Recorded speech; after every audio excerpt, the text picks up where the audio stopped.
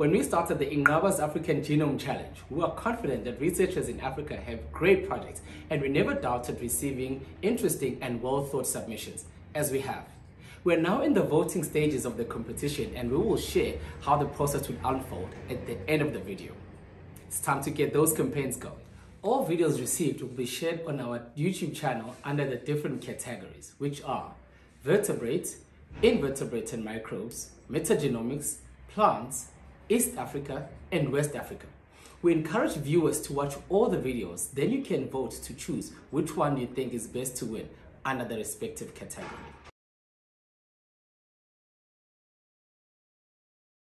From East to West Africa, researchers in this region have done exceptionally well to capture their projects in the given time. We are very excited to give you the following submissions from the category West Africa. Enjoy.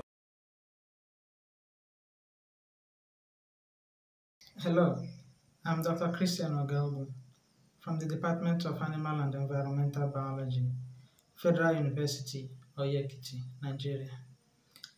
Legumes are important sources of plant proteins, and a lot of legumes such as cowpea, kidney beans, honey beans, and so on help to alleviate malnutrition in a lot of countries in West Africa and in Sub-Saharan Africa.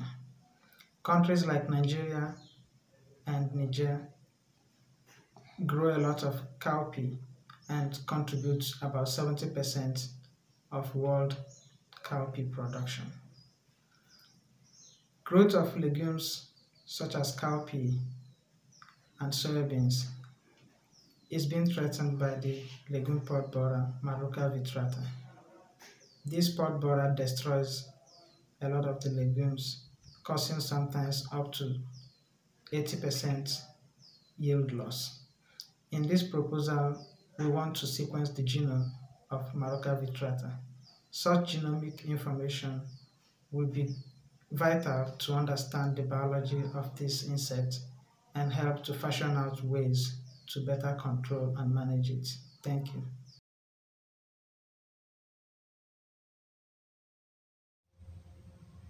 Hello, fellow African scientists. We are proposing to sequence seven exotic African plants with chemotherapeutic and staining properties. The search for plants with antimicrobial properties have gained increasing importance due to a growing number of resistant microorganisms to available antimicrobial agents. In addition, discovery of new potent drugs from plants for other chemotherapeutic purposes such as cancer is gaining tremendous attention. Current stains used in our laboratories are chemically synthesized besides being expensive, they are hazardous to human health as some dye components are carcinogenic. We have identified seven African plants with great chemotherapeutic potentials and staining properties based on preliminary studies from our research group. At the moment, there are no genome database for African plants, and we know that Africa is endowed with great biodiversity. Understanding the full genetic makeup and capabilities of these plants would enable African biomedical scientists to carry out targeted investigation based on the genome sequence of these plants, which we now propose to determine. In terms of international significance, there will be an interest in assessing the genome sequence of these African plants with potential medical and industrial applications once we deposit them in the global genome database, and they will add more knowledge to the scientific community on what African biodiversity can offer to the world. Inqaba Biotech, we be utilizing high-fi bio sequencing technology in making a bold statement that Africa is now ready to join the plant genomic market, which has been estimated to reach 11.7 billion US dollars by 2025.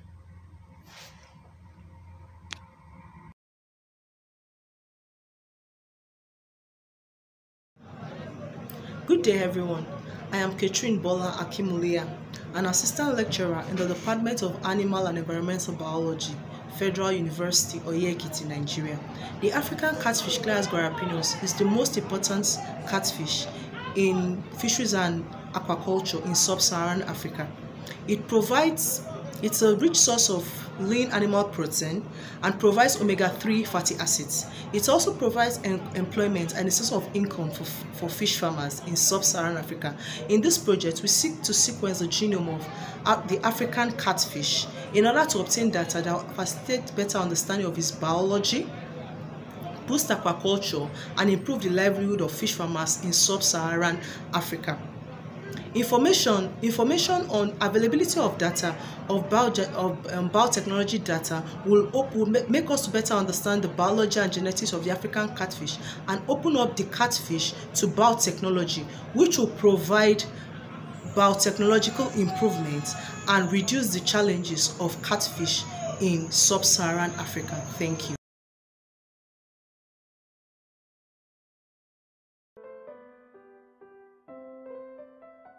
Good day, I am Kende Oshijo. Poultry production in Africa is concentrated mostly in the rural areas, which utilize extensive systems of production. Though chickens are the most common poultry birds, commercial breeds perform poorly in these extensive systems and indigenous local chickens are adapted for survival rather than production. The guinea fowl is a non-conventional poultry species that is hardy, resistant to many diseases, good at converting low quality feed into meat, and genetically adapted better to the climes of tropical Africa. With its more delicious and nutritious meat, the guinea fowl is a better and more sustainable option for rural rearers than the chicken in Africa. The long-term goal of this project is to develop improved guinea fowl lines with much better meat and egg producing levels which will still be superior to chickens as far as survival in Africa's biosphere is concerned. To this end, we lay the first steps of bringing more sustainable poultry protein to African populations by characterizing guinea fowls using whole genome sequencing. This will create a much needed framework on which we can build more effective improvement programs to develop more productive guinea fowl lines and mitigate the problem of malnutrition in Africa. Thank you.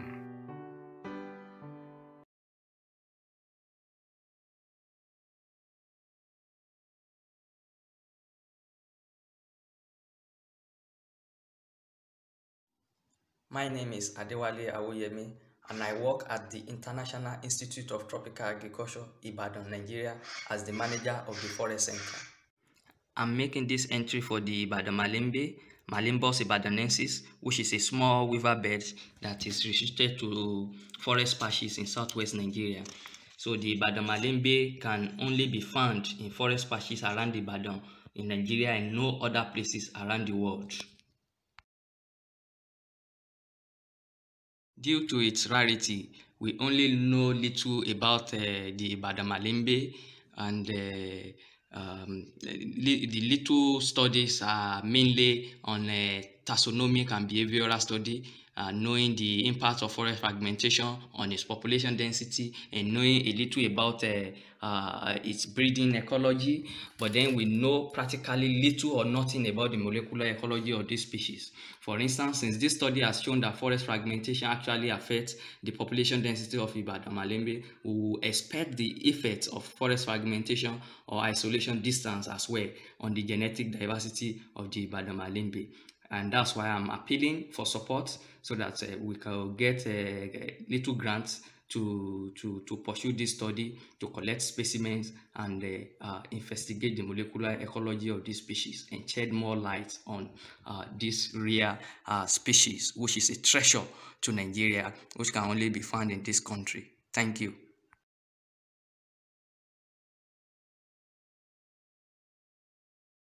My name is Murtala Ismail.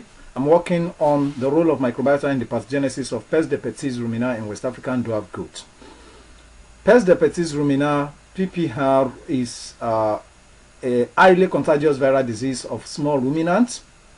The current uh, control measure is through vaccination and uh, significant success have not been achieved through this because uh, the inability because of the inability of the farmers particularly in the developing countries to maintain cold chain require for the viability of this uh, vaccine. And that is the reason why the uh, better alternative and affordable uh, alternatives should be provided.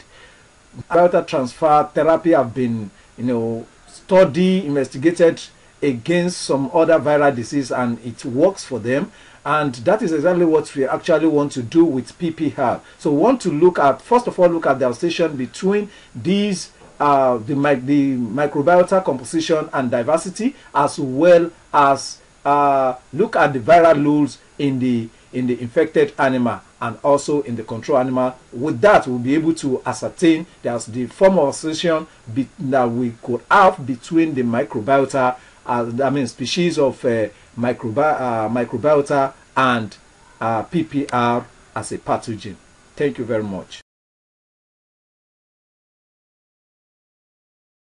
My name is Chiebuka. This is Justicia carnea, popularly known as Blood of Jesus in Nigeria, and its relative Justicia secunda. These plants are used in treating anemia locally, and they are highly, highly, highly good for chest treatment, better than most drugs out there. Nigeria alone records about 1.5 million cases of anemia. Anemia is ravaging especially preschool children. Our thoughts are if this plant is sequenced, phytochemical characterized, we could look for drug enhancements or production from its phytochemicals characterizing the phytochemicals. This would help to, you know, enhance the mechanism for treating anemia. Thank you. Thank you for staying with us. Now that you've watched all the videos from our applicants, let's discuss on how you can vote. On the comment section below, we have included the project's names from all our applicants in this insert, so you can simply vote by liking your favorite project. Don't worry, if you missed the project's name, we have also included the video number so you can go double check to see if you voted correctly. This process is open to everyone and we have no limits on the people who can vote for you. You're welcome to invite your colleagues, friends or family to vote for your project, of course by liking it on our comment section. Voting will be open for the next three weeks and we will announce winners shortly after the closing date and the samples will be collected for sequencing on our PacBio system. This has been a lovely journey for the Inqaba Biotech team and we hope you enjoyed it too. We wish you all the best in the Inqaba's Africa Genome Challenge. See you at the winner's table. Goodbye.